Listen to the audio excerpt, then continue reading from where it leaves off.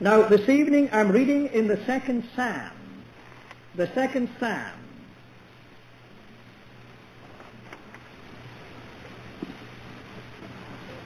And I call the second Psalm the Soviet Russia Psalm.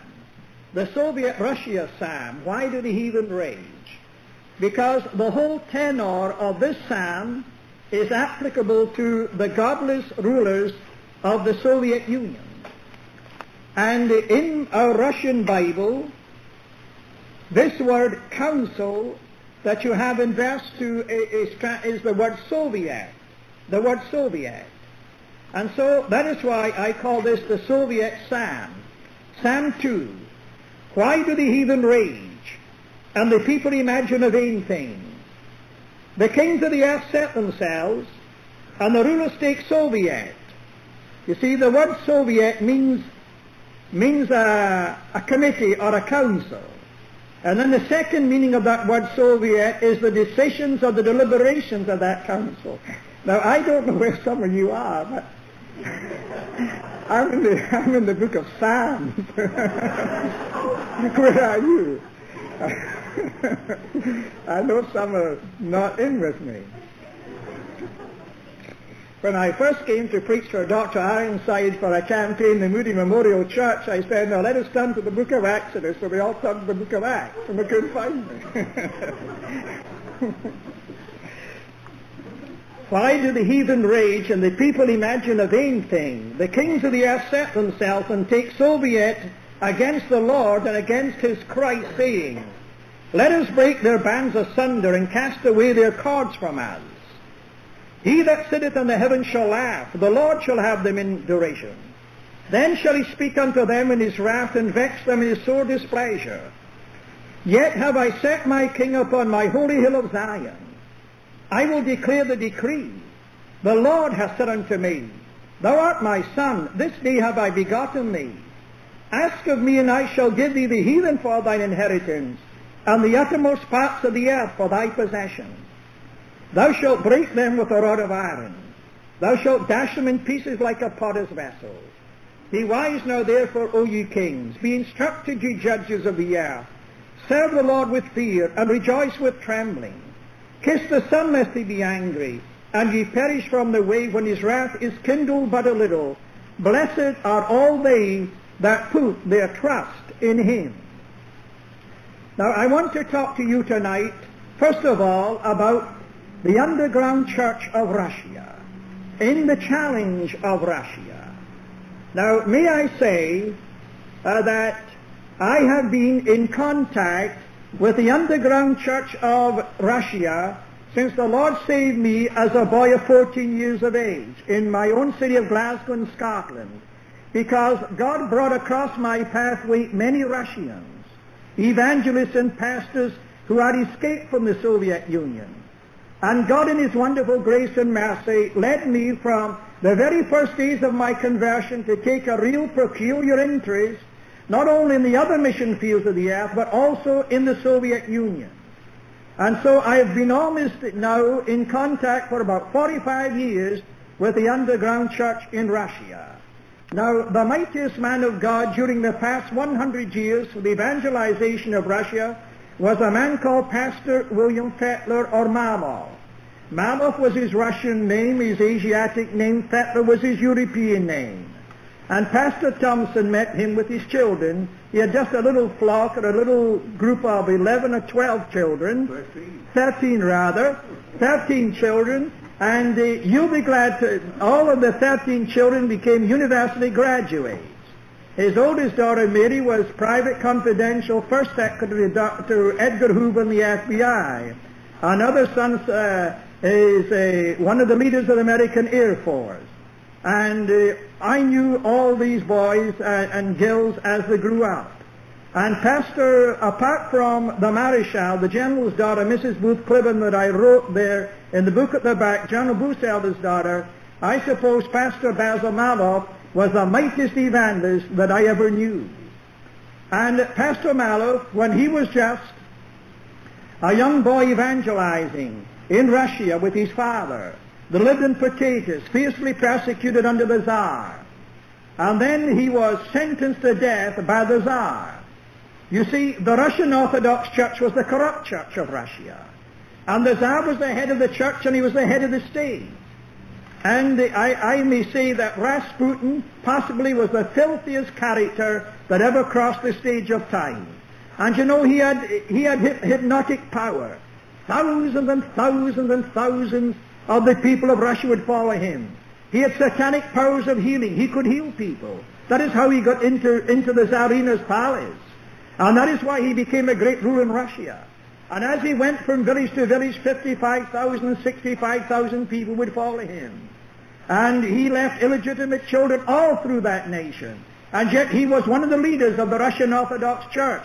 And you can understand that when the communists took over, they said the front plank of our platform is religion is the dope of the people. Now the Russian people did not have a revolution against the true Christ. No, it was a false Christ. They did not have a revolution against the true church. It was a false church. Now, you know, it was first a socialistic revolution on a minor scale by Alexander Kerensky. Now, Mr. Kerensky is an elderly gentleman just now. He was president of Russia only for six months. Sometimes he lives in New York City, other times he lives in his apartment in München in Germany. And Alexander Kerensky wrote us and said, I'm so glad you're printing the Russian New Testament for the Soviet Union, but you haven't put the Psalms of David in it. Put the Psalms of David in it.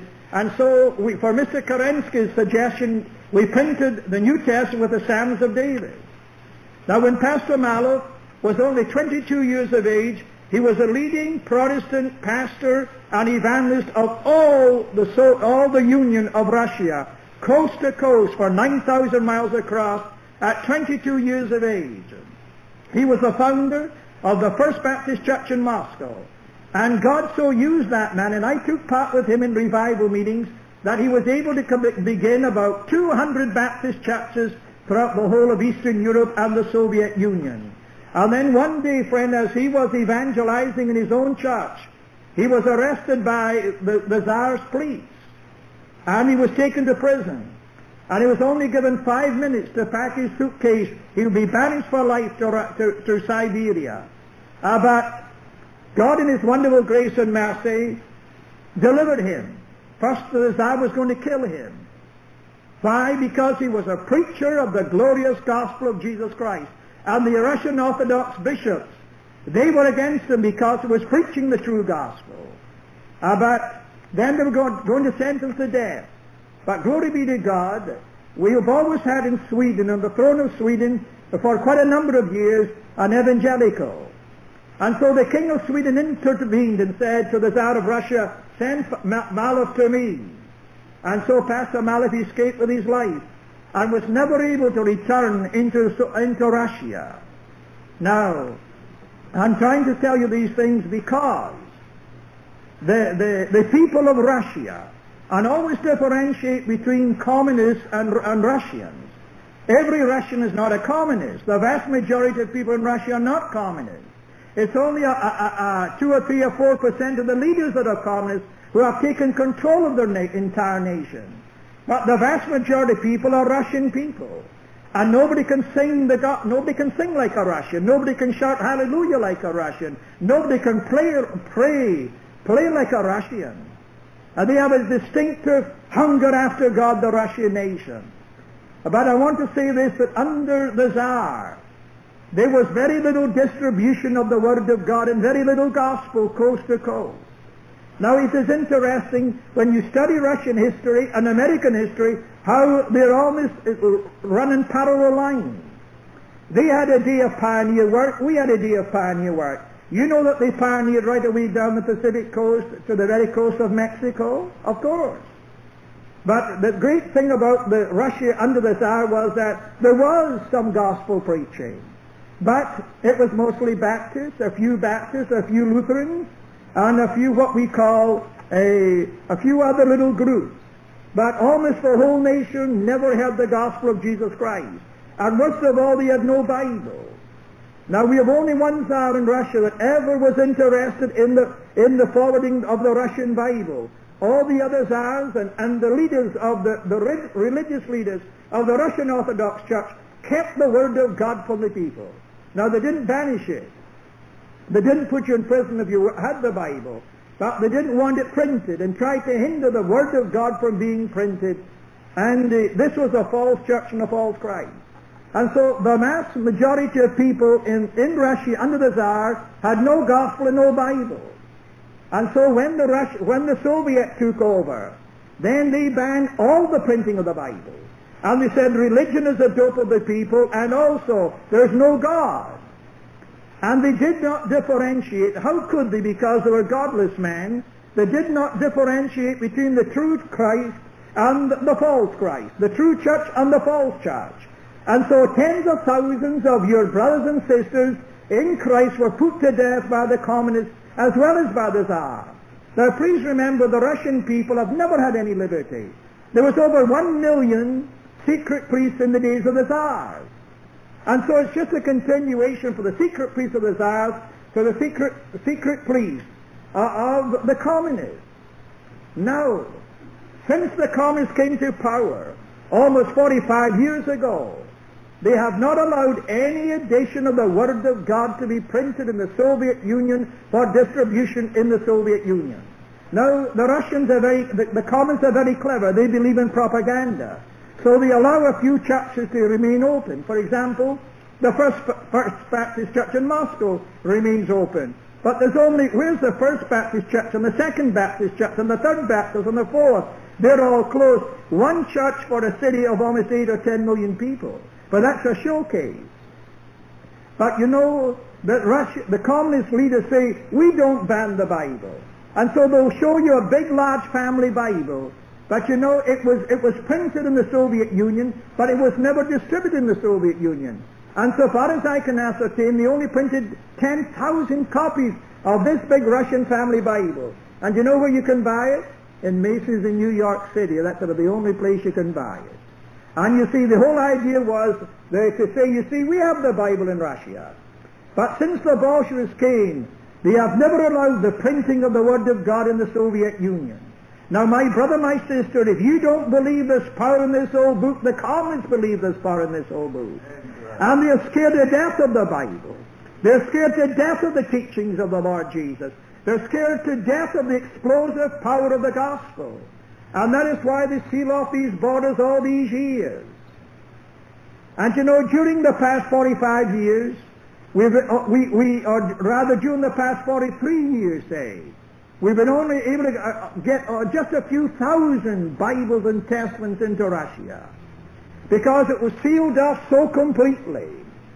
And you know, most of our men, they either were shot to death by the Soviet guards, or they, or they drowned in the fast-flowing rivers, or they were eaten alive by the hungry wolf packs as they went through the forest in winter to meet the other brothers and sisters in Christ over in the Soviet Union.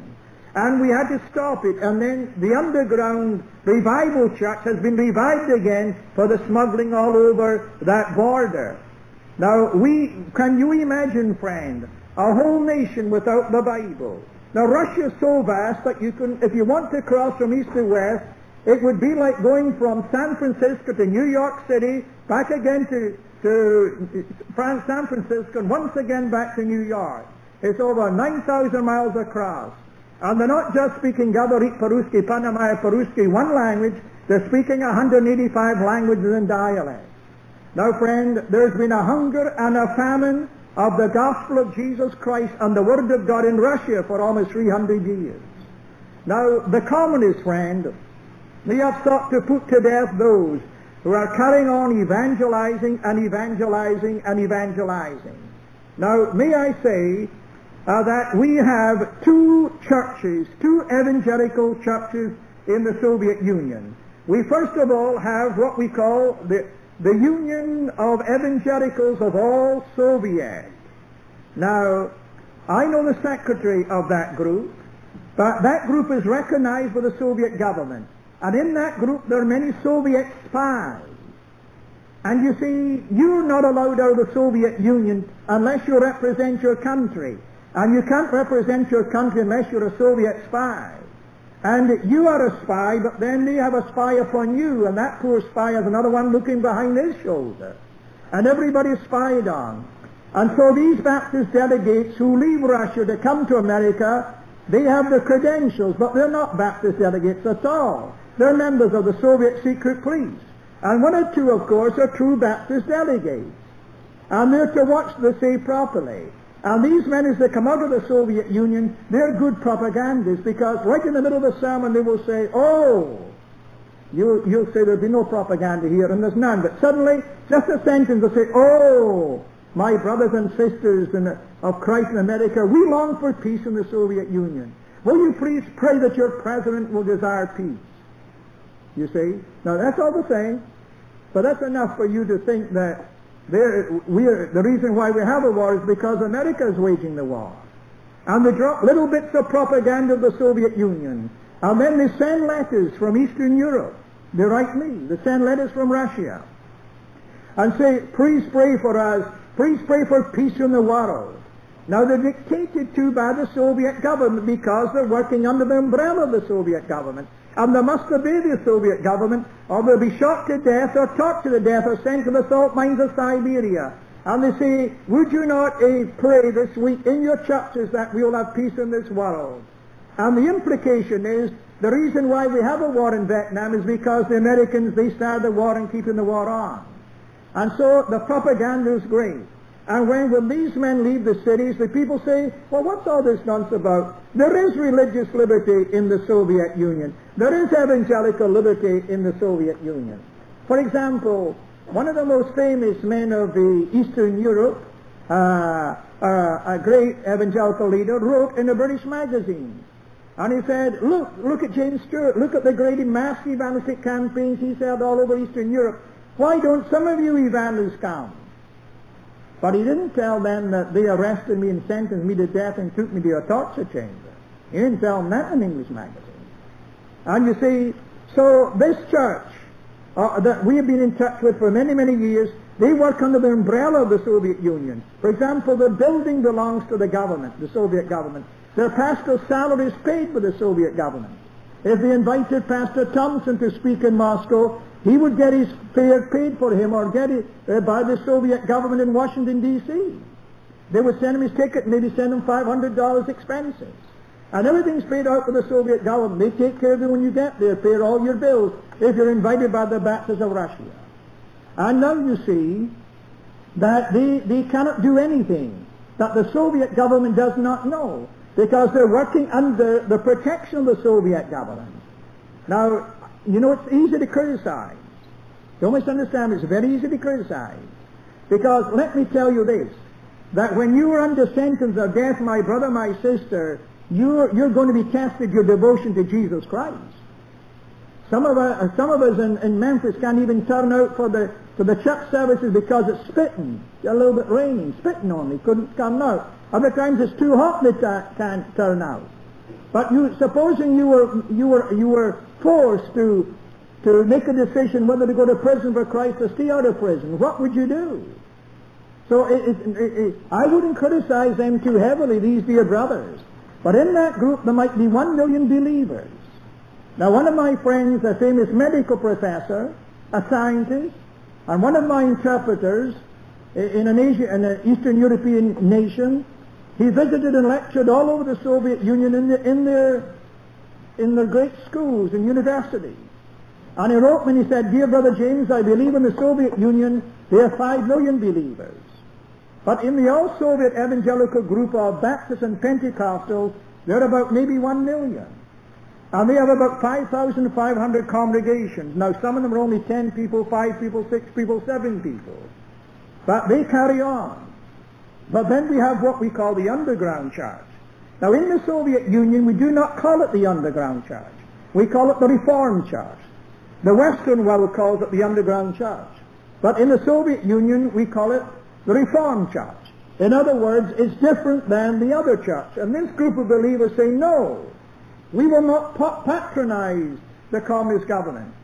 And they say, no, we will not work under the umbrella of the Soviet government. Be a communist, and a Christian cannot be a communist. You say.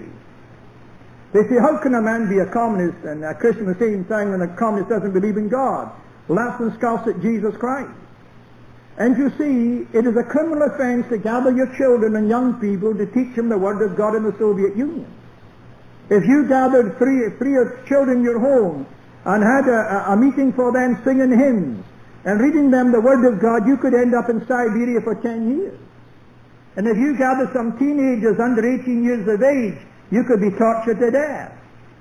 And so the result is that, that they, they are doing all they can to exterminate the gospel. Now this underground church or reformed church says, no, we are going to stand true to Jesus Christ. And we are going to carry on a guerrilla warfare, spiritual guerrilla warfare, evangelizing the whole Soviet Union. We are not going to ask these godless communists we, whether we can evangelize or no. No, we're going to evangelize. And so, uh, and so far as we know, they may number in the underground church about a million and a half people. They may number a million and a half people. Now we have all that information about this underground church. For example, we have reports. Here they are. You can see these reports. And they're very tragic because these are giving the, the different names of the brothers and sisters who were sentenced, you see. One man is found reading a Bible and he gets two years in Siberia for reading a Bible. Another one gives out a, uh, uh, typed gospel tract, typed in the typewriter, and they get three years in Siberia and so on. And then you get quite a number, four years, five years. And then some elderly couples have been having meetings in their own home, and they've lost their life pension. Now, how would you like to be 70 years of age and lose your life pension? Just because we're gathered in the home reading their Bible. And we get these reports all the time from the underground church. And many of them, of course, as you know, are being tortured to death right at this very moment. Now, you know, I could tell you stories, but I want to sleep tonight. I was just reading a story. I didn't let Mrs. Church know I was reading it, but I was just reading a book and I couldn't lay it down because, you see, it was all about the same torture chamber where I was taken to uh, in Budapest. And it, it, would make your hair stand on edge if I could tell you what is happening in the, so- in the Soviet Union and behind the Iron Curtain, Iron Curtain countries, being tortured for their faith in the Lord Jesus Christ. Now, may I say that this underground church says to us, don't send us any money. Because if you send us money, they will say we're espionage agents for America. But send, pray for us and send us Bibles. Send us Bibles. We're willing to go to prison. We're willing to be tortured for Christ's sake, but you send us the Word of God that we can evangelize. And this underground church, you see, has no buildings of their own. No buildings. They carry on underground. Sometimes they meet in a forest. When we were in Sweden, we discovered not too far away in the Soviet Union, over a thousand were meeting in the deep freeze of a forest. It was so cold that they knew the Soviet guards would not come searching for them. Yet a thousand gathered in the forest to pray and seek the Lord. They will break the ice and baptize converts on the highs. And the Holy Ghost is working so marvelous in the Soviet Union that tens of thousands of men and women are being saved. You know, a Russian general escaped to Vienna. And uh, the, you know, when he escaped, he, he told that he was being interrogated and the first thing the American general said, and do, do, you, do you want some vodka? No. Well, do you want some liquor, Scottish whiskey? No. Well, what can we give you since you've just come to the West? He said, gentlemen, could you give me a Bible? And of course, these poor American men weren't even Christians themselves and never read the Bible. And they thought he was joking. They laughed and scoffed at him. He said, gentlemen, I'm serious. I want a Bible. I want a Bible. I've escaped to the West, and the first thing I want is a Bible. They didn't have a Bible. But we were able to supply a Russian Bible in his very own language. And you would be astonished at the hunger for the Word of God behind the Iron Curtain and in the Soviet Union. Now they say to us, send us in the Bible. Now this is for your consolation and it's wonderful. Pastor Malov, my dear friend, had faith. He had more faith than I had. And when I begin to think of it, you know why he got faith? Because he fed on the Word of God, he read the Word of God, and he prayed. He was a man of prayer. Uh, we have written his life story called The Man in a Hurry. And he, we went through his spiritual diaries. And he would begin in the diary, right there in the diary, Oh Lord, hallelujah, I'm alone with thee, one o'clock in the morning. And he may carry on from one o'clock to four o'clock or five o'clock in the morning, communion with God, interceding for Russia. And he said, we will print an edition of 175,000 Russian Bibles. And I laughed and mocked at him.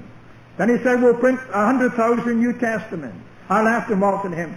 I said, we'll never get them through. We'll never get them through. All these years we've been trying to get them through. We only get smuggled through 10 here, 10 here, 20 here, 30 here, 40 here. And you're talking about hundreds of thousands. And he used to smile and laugh and said, James, your faith is small. And he had a favorite saying of an English hymn. Thou art coming to a king. I don't know if you know it in American. Thou art coming to a king, large petitions with thee bring. And you know, I laughed at him right from the day he went home to glory. Can you imagine? But he had faith, and he went on ahead in printing. Isn't that wonderful? And he left me with his he left me with his work of printing the Bibles for the Soviet Union. And you know, since that man went home to glory, in two years' time, we've been able to get more Bibles in the Soviet Union than in his entire lifetime since he was banished from, from Russia. Now, why did I tell you that? I tell you this. You, the devil saying to you tonight, dear brother, sister, another impossibility, another impossibility. My son will never get saved. My, my daughter will never get saved. My husband will never get saved. My wife will never get saved. I will never be able to claim that money from God. I'll never be able to move that mountain. Well, I tell you, friend, eh, I think uh, I've got a little bit of faith. You have to have faith if you're a missionary leader. You must have some faith. But my dear friend, I did not have that faith. But glory be to God, that man had that faith. And he said, and he said, we'll get them through. We must get ready to pray. You know the marvelous answer of prayer? And so, altogether with different one of us working, during the past two years, possibly we got in almost 200,000 Bibles alone. Can you imagine? Now, eh, with me, with our society, we've been able to get 50,000 New Testaments last year into the Soviet Union. And 50,000 New Testaments into Romania, where Mr. Nixon was. Now, Bulgaria is the most difficult country for evangelizing just now. Uh, we don't say much about Bulgaria because the lives of these believers are in danger. But 50,000 New Testaments were gotten into Romania, and God is blessing them, and there's such a hunger. Now, you, uh, a dear brother, for example, wrote us, and he said, when I was in the, I was banished from my home in Poland for 25 years because I was preaching the gospel. But when I was away in Siberia, I heard from the other believers that you were sending in Bibles into Russia. And he said, oh, please send me Bibles. And then he said, there are hundreds of people I promise Bibles. Now the thing was this, you see. He casually said in his letter, I was banished for, from my family for 25 years. Now some of you have been GIs or airmen and you've been gone off for Uncle Sam for two or three years away from home. How would you like to be banished from your family for 25 years? His wife was banished that way. Each of his five children were banished five different directions, and he was banished that way, never to see his family for 25 years. Do you love the Lord enough for that? Huh? But he says, Brother Stewart, send us in the Bibles. Of course, we managed to smuggle the Bibles through to him. Now, we have a, we, you have all read, more or less have read Brother Andrew's book, God Smuggler. And Brother Andrew interpreted for me in revival meetings in Holland. And Brother Andrew used to use our big testament, our big Bible, and he wrote and said, Brother Stewart, these are too large. Why don't you print something smaller? It's easy to smuggle through. And so, for Brother Andrew, we printed this. That was his suggestion. And the ladies can smuggle maybe 10 or 20 in their handbags. So it's American women's handbags, maybe 40. But the average woman's handbag in Europe, only six or so. But there they are. And so, and then you can imagine that you've all read, been taught about Christ by Brother Wurmbrand. He uh, is a, was a Lutheran pastor, and when God sent me to Romania to evangelize, I didn't know a soul. The Holy Ghost said, go.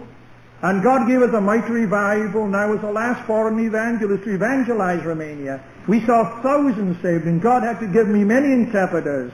And Brother Wurmbrand was one of my interpreters. And then when I left and finished my meetings there, he was put in prison for 14 years torture for Christ. And when he was in prison, Mrs. Stewart and myself helped provide his wife and children with food while he was in prison. And when he was in prison, he preached my sermons that he had interpreted for me in the prison. Now, Brother Brandt is free now. And then you've read about Brother Popov, a Pentecostal pastor of Bulgaria, another one of our friends. And God gave me a mighty revival in Bulgaria. And when I finished my meetings and escaped, the, the communists put ten of them into prison. And Popov 13 years torture for Christ. Now, friends, our patron saint is a young lady called Ada. Now, those of you who do receive our missionary prayer letter will remember we had a photograph of Ada in. I won't tell you a second name because it's a Russian jawbreaker. You couldn't pronounce it, you couldn't remember it anyhow. But you know, if the Roman Catholics have saints, why don't we have saints? Of course, they're dead ones. We believe in living ones. And so Ada, she was 22 before she was arrested. And as she looked out of her little room in Moscow, out into the street, to see the tens of thousands passing by like a sheep without a shepherd, her heart was broken and moved, and she said, Oh, Jesus, oh, Lord Jesus, they're like sheep without a shepherd. Oh, Lord Jesus, help me to reach them, help me to reach them with the gospel. Now, you know, it's a criminal offense to even mimeograph a tract. You can't even have a church bulletin. No printed matter whatsoever. But she got cards. And with a beautiful handwriting she wrote, My dear friend, you can have peace with God through the blood of Jesus. And then she would say, here is a gospel promise from the Word of God. John 3.16, now bowiem tak Google lomio swiek jezonego dala by każdy, nezazino żywot wieczny, another Russian word she wrote. And then she wrote Matthew 11.28, Isaiah 53, and so on. Until she had many scriptures, and after having but hundred or two hundred cards, she said, Now Holy Ghost, anoint me as I go forth in the Master's name. And out in the busy street she went and said, Pachalister, Pachalister, Pachalister, Pachalister, please, would you take this card? And she gave out these cards. When the second day, a heavy hand was laid on her. She turned round the secret police. And they said, are you giving these out? Come with us. And they took her. And they frightened her so much. And they, they fined her heavily and only kept her three or four days in prison. They frightened her so much and the and said, huh, she'll never be back here. But my dear friend, when a person's filled with the Holy Ghost, anything can happen. And again she looked out in the streets, and again her heart was broken. He said, Oh Lord Jesus, they don't know thee. And again, under the inspiration of the Holy Ghost, she wrote out the cards again. And again she gave them out, and again she was arrested. And she was tortured for two years. But you know, she was so filled with the Holy Ghost in these two years that she led many of our torturers to Christ. And we had of another young lady in our, you know, our underground report. I wish I could tell you about her. She was only 19 years of age. And you know, when she went in, the one who was to torture her, a lady about 28, she was, she was one for Christ. And she began to witness. This communist leader began to witness. And then they, then they, they, they put her to death. But the Christian girl, she, she slowly died of starvation. They tossed her body to the hungry dogs around the camp. But anyhow, Sister Ada was back in prison. She's there now. She's 27 years of age, her second time. When we said, why do you allow us to use your name, your photograph? She said, it's because I want the church back outside in Britain, Europe, Western Europe, America to know that we're being tortured all through Russia. And I want them to pray. If I can die and suffer for Jesus in order we can have revival in Russia and my people can be evangelized, then it's worthwhile me being here. Now, Eva is our saint. We love her, and she, she's just one of the thousands being tortured for Christ tonight. Now listen, my brother, my sister, can you understand that I come from a martyr church? Most of all my workers that I labored with in Eastern Europe, as Mrs. Cornell has told you here before, they all died a violent martyr's death for Christ. I didn't. I'm alive. But they're, they're in glory long ago. Some were put to death by the Nazis or the communists. My younger brother was five years, as you know, with the Nazis. My younger brother Douglas is spoken here. And I belong to a martyr church. And here we are in America having everything so comfortable, everything so easy. Beautiful buildings, beautiful comfort, heat, everything, beautiful pastor, hymn books, beautiful flowers we'll get everything. And do we love the Lord Jesus? I say we don't.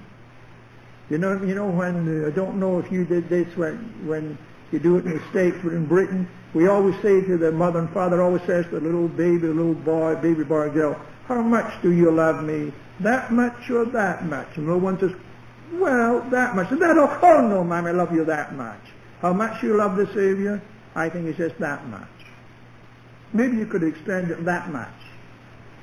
What are you going to do, my brother, my sister, at Redeemer, the judgment seat of Christ, when your whole Christian life comes in review before the marriage supper of the Lamb? What are you going to do if you had to stand beside Ada? What are you going to do if you had to stand beside this dear brother who was banished for 25 years from his family? Uh, how would you like to stand with Brother Wurmbrand? How would you like to stand with our dear brother Popov, 15 years tortured almost every day for Christ? Huh?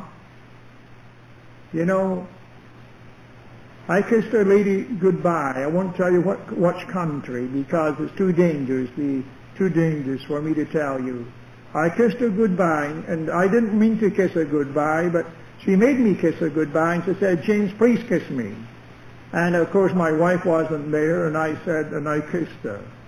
And uh, yes, but don't laugh just now. And she was weeping.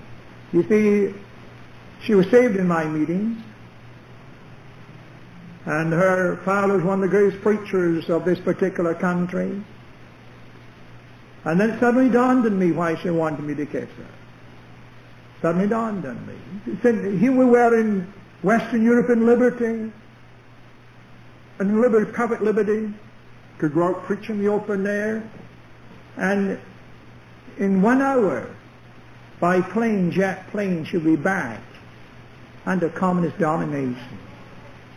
We'll be back under communist domination within an hour.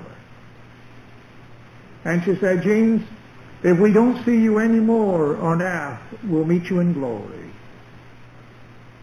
And don't forget that the, the, the, the saints, the fellowship of the saints is precious. And we want to thank you, and I'm kissing you too on behalf of my husband and all those have led to Christ in my country in Czechoslovakia. You brought us to Christ. And the fellowship of saints is so great, so wonderful. And will you pray for us that we'll be true to Christ and we won't deny Him? Now, she wasn't a young lady. She's a lady about 50 years of age or so, matured lady. Her brothers, three brothers pastors and that country. Her husband a lawyer. And when I when she went on that plane, I could see that plane zoom high. I broke down in uncontrollable because I've been there. I know what to go through. They're walking a tightrope day by day. Hardly anything to eat. I went into the store and I wanted to buy out a coat. I said, you know, you've had that coat for a generation or two generations. How do you know, James? I said, I can remember. Handed down three generations. And I said, well, I want to buy your coat. And she said, no, James, if you would buy that and that and that little thing, that little thing, so I can take back home. And I'd like to give that one pastor's wife here, one pastor's wife there. There were simple things like a, just a lady's sweater, that's all. And the shops are empty in that country, and hardly anything to eat. And it'll get worse and worse for these believers. Now, will you please pray that God will continue to send us in all the money to print these Bibles? This church sent us $150 a few months ago to help us in this ministry. And we want to thank you from the depths of our hearts. Now, will you please pray that God will take care of those smuggling the Bibles? Hundreds are doing it. Hundreds are doing it. And many times the Bibles are confiscated and also the car is confiscated and you lose your car as well. Course, if you're a Russian, you'd be banished for 10 or 20 years found handling the Bible.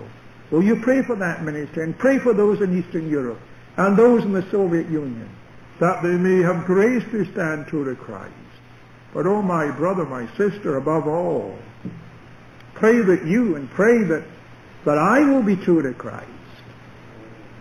You see, uh, what are, what are the loyalty flags? What are the loyalty flags? Faithfulness. That's the number one loyalty flag. Not shouting glory hallelujah.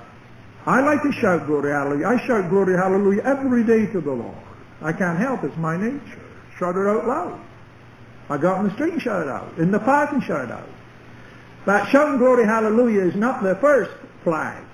It's just faithfulness. That's all. Anybody can be faithful. Anybody can be faithful. Faithful at the church services. Faithful in the prayer meeting night. Faithful in the Christian stewardship. Faithful in many, many ways. And our Lord and our Lord Jesus, He in America is tested again and again and again in little things. And these little things reveal the, the, whether we're true to Christ or not. I was preaching for an evangelistic campaign for Dr. Oswald J. Smith in Toronto many years ago. I had many evangelistic campaigns for him. And I remember a little girl coming to me weeping, a little lassie, 17 years of age, and she said to me, Oh, Brother it's hard, it's hard, it's hard. And I thought, oh, dear me, she must have the toothache or the earache. And I said, what's wrong, my dear? Oh, she said, you know, at the high school they laughed at me today because I'm a Christian. Oh, I said, poor little thing. I said, let me just dry your tears. And she didn't like that. I said, you ought to thank God you're not in Russia. They would kill you, torture you. And she thought she had gone through purgatory just because somebody laughed at her because she loved Jesus. No, no, no. Something greater than that. Well, what could be greater than that to a Russian peasant? We're millionaires. You know what? We've got one of these smuggled Bibles. No. And this lady's a communist. And her husband's a communist. One of these smuggled. No. Could I have a look at it? No, no, no, no, no. You're not supposed to know. Oh, but I must have a look at it. She's a woman. And they both go together. And they go into the room and they try to hunt in, in, his, in the bedroom for the Bible. And last they find it. And they, and they look at it. And she said, well, could I hold it? And she said, oh, no, you can't hold it. Listen, you're a Christian. You must show Christianity. Let me hold it. And the communist woman holds it. And she said, what a brute. And this is what we're fighting against, our government. Could I just, leave me alone. I want to read it. And she reads it. Well, you know, she's a woman. And her husband comes home at night. She said, you know, the millionaires next door. Are they? They something wonderful yesterday. What, a pig? Go? No, no, no, something more wonderful than that. Well, what could be more wonderful than that? What, a buffalo? No, no, no, no, no. A smuggled Bible. Oh, no. So he goes over, knocks at the door and says, Ivan, can I come in? Yes, come in. I understand you got one of these smuggled Bibles. How did you know? I heard. I just have. Could I have a look at it? No, no, no, you can't. Listen, please let me see it or I'll tell on you. And so Ivan has to bring it out the safety drawer, and the man looks at it and says, Ivan, you know, you, you, you, are a Christian. You, you couldn't keep that yourself. I, Ivan, could I tear out a page? Tear out a page for me. If you don't, I'll tell on you. And poor Ivan, he, to, he said, well, what page do you want? He said, I want, the, I want this. Oh, no, I, you can't tear that page out. This is, that's the precious page of mine. Well, let me have that one. He tears that out. Well, of course, the other man talks. Huh. And the whole village knows. And the whole village is around. And before very long, that thing is torn to pieces. And poor Ivan, he lands up with only one page. One sister will walk 200 miles in her bare feet because they don't have shoes in many parts of Russia. And they cut the bark from the trees and tie, tie it on. The Stewart will you, we see it often. Tie the bark from the trees and tie the string round the bark and that's what they use for shoes. And there's blood on the floor and the sister walks because she's heard by the underground church that that family has a Bible. And she comes weeping. She said, oh, I want John 3.17. I want John 3.17. I don't know it by memory, but I know part of it. Uh, uh, please give me John 17. Somebody say, my favorite chapter is the Exodus 12. Could I have Exodus 12, the Passover lamb? No one says Isaiah 53 is my favorite chapter. Could I have that on that Bible torn apart? Now, we, our best New Testament is a, has got a, a Bible school behind it. We call it a Russian Bible Guide. It took 10 years preparation. How we got a Russian Bible? But then it also tells us uh, how to be saved, and then it tells you how to be filled with the Holy Ghost, what is sanctification, what is justification, what is adoption, what is grace. A little Bible school. How to win souls for Christ. And then we've also words and music of 75 hymns, because when you get saved, you sing and shout and praise the Lord. And so How Great Thou Art is in it, because that's a Russian hymn, as you know. It's a Swedish hymn, Swedish Lutheran hymn, but been in our Russian hymn books for 100 years. And so that is in our Russian Bible, our Russian Testament. So will you keep on praying for that? Now, one of my challenges before I close is a literature crusade. When uh, I was lying dying in Dublin in the south of Ireland about maybe 14, 15 years ago, I, I was unconscious till I come round. And I was in the death ward and people dying around me. And God told my wife I would live. The doctors said that he will not live. And then when, when I was lying helpless in the bed, some of my missions came to see me and in this great Roman Catholic land. Then I thought of the millions who had still never heard the gospel. I said, Oh God, I, I, I'm too young to go home to glory now. Lord, spare my life. And Lord, if you just let me write.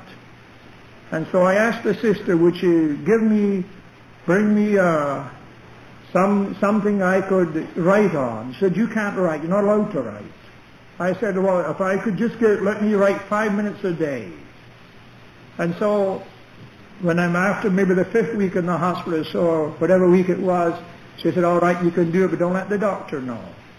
And then I began to write the burden of my heart for foreign missions and the lost and the dying. And when God raised me up, that began our book ministry. Began our book ministry. And this was to supply the missionaries with literature, to comfort them our own American and British and other foreign missions around the world, and then books to, to send out for the, for the native pastors around the world. And God has enabled us now to write with Mrs. Stewart, of course, and myself, some 70 books and booklets. And they have gone out all over the earth into many languages, translated into many languages.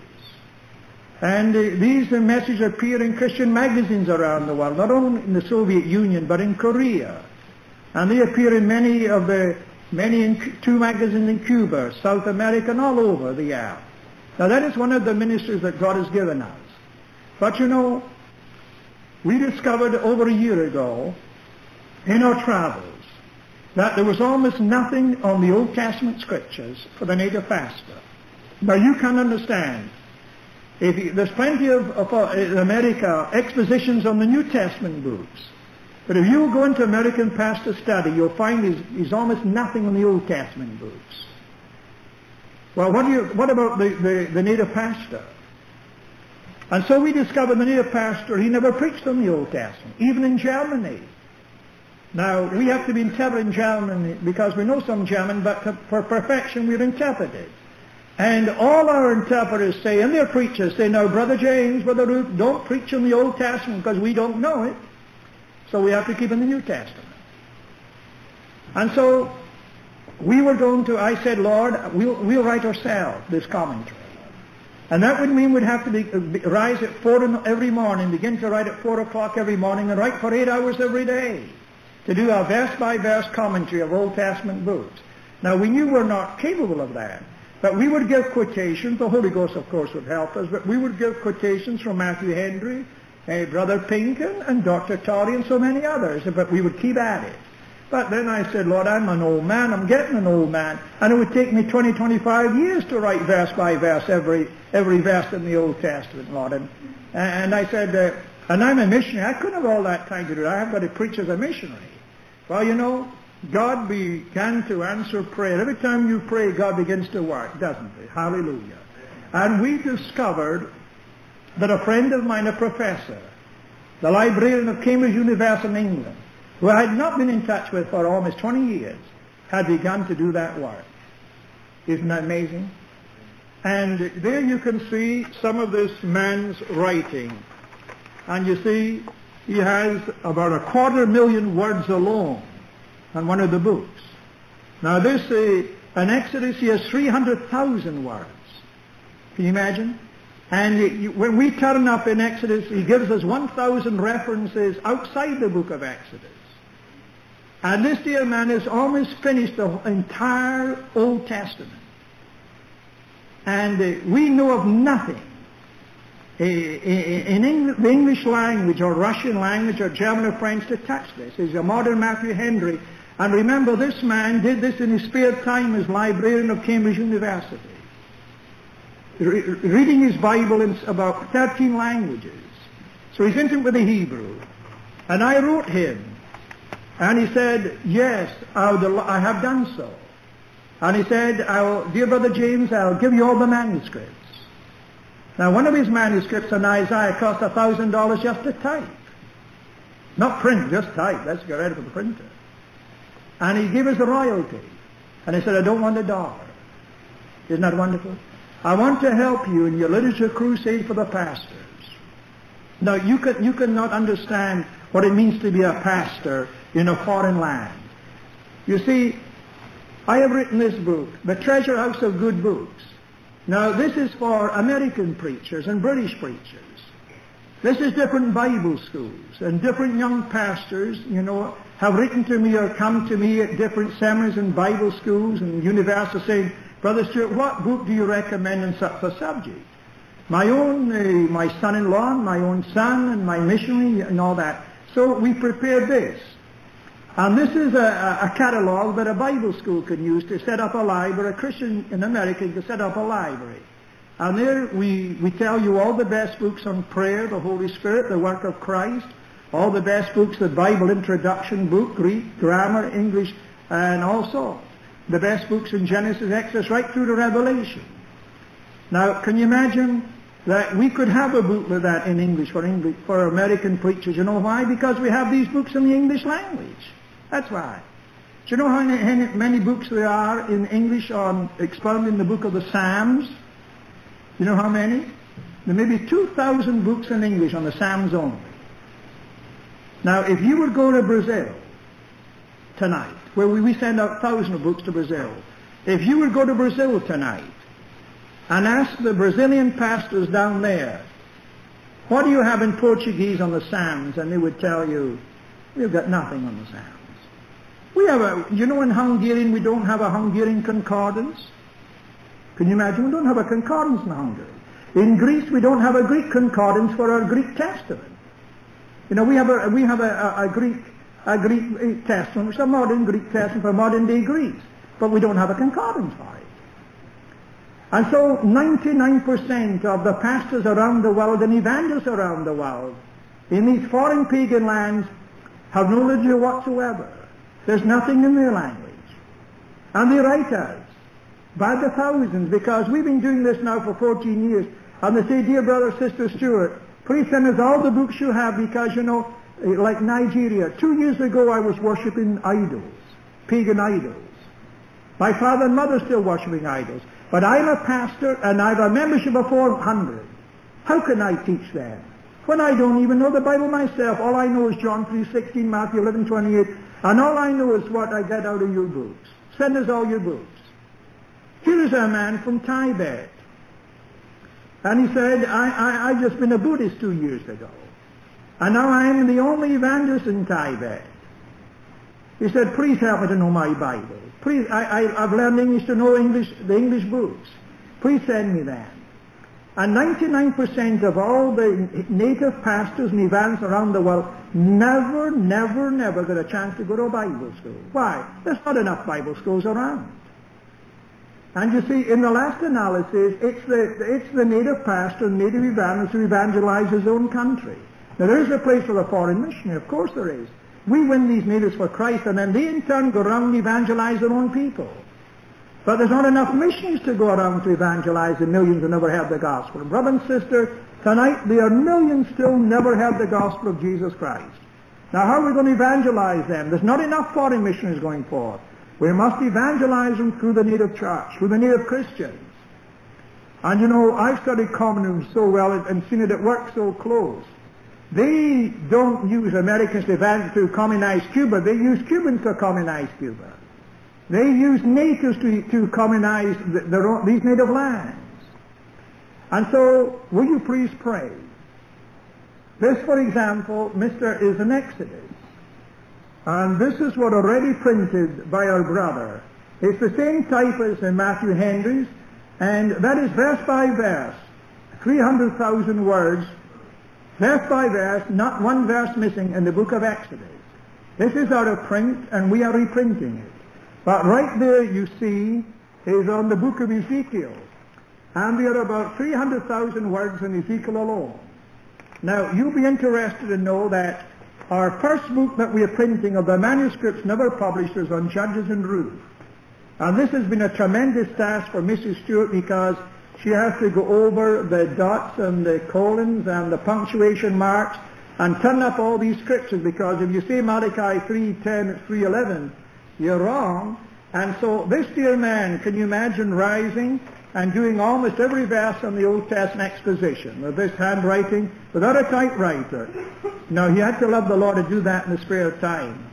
Now, so will you please pray? We hope to have ready at the beginning of this, at the end of this month or the beginning of December, uh, our first actual book, and it will be in Judges and Ruth. And our first main mission field is India. And we have about 10,000 native pastors waiting in India in our mailing list. And native pastors and evangelists in Indonesia, as well as other countries. But our main work just now of the Literature Crusade is in India. Now each of these books costs us $5,000 to produce. Each of them costs $5,000. That's not to post them, that's just to send them out. And each book that sends out costs 15 cents to send out. That's the packaging and the stamp. Now, will you join in prayer with Mrs. Stewart and myself that God will supply this money? That seems a lot of money, doesn't it? $5,000 for each book. But my dear friend, there's no use being in the Lord's work if you have no faith. There's no use saying, I'm going out to evangelize the millions have never heard if you haven't got faith in God to do miracles. And we had a verse in the prayer meeting tonight, Jeremiah 33 and 3. Call unto me, and I will answer thee, and show thee great and mighty things which thou knewest not. And so, will you please pray that God, in a, a supernatural way, will supply this money, uh, that we can pay the printer and go on with this ministry. And we know that ten, tens of thousands of souls will be saved in these heathen lands. How do we know? We know from 14 years' experience because these evangelists are blessed by the books. And then they go out evangelizing. They preach in their own churches. They write us from India, Indonesia. They write us from Nigeria, from Brazil, and even from Russia, telling us we've been out in meetings and three or four hundred recently were saved. Teams of evangelists all over the world. And so, will you please pray that God will bless our literature ministry? Could we bow in prayer, please?